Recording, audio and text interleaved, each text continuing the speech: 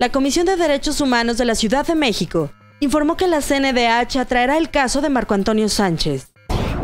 Reforestan zonas de Xochimilco para reforzar el valor ambiental. La Asamblea Legislativa de la Ciudad de México definirá este jueves al jefe de gobierno de la Ciudad de México sustituto. La UNAM exigió el esclarecimiento del doble feminicidio de Graciela Cifuentes y su hija Gatiela Sol Cifuentes que ocurrió el pasado 15 de marzo en la delegación Álvaro Obregón.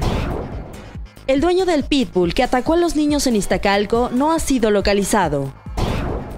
Coparmex lanzó la iniciativa Manifiesto México, esto como parte de la estrategia de participación electoral Participo, Voto, Exijo 2018. Noticieros Teleurban.